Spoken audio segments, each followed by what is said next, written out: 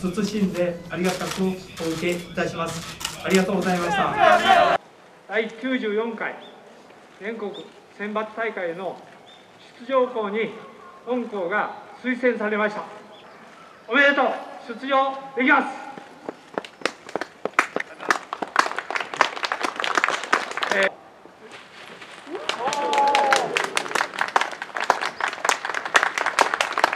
新しい歴史のページを開いたんだからそのページに文字を書いて「勝利」という文字を「勝つ」という文字をいいかなはい。頼むね甲子園まで残りわずかの時間ですけどさらにレベルアップしてこうし監督さんと一日でも長く野球します。いざよし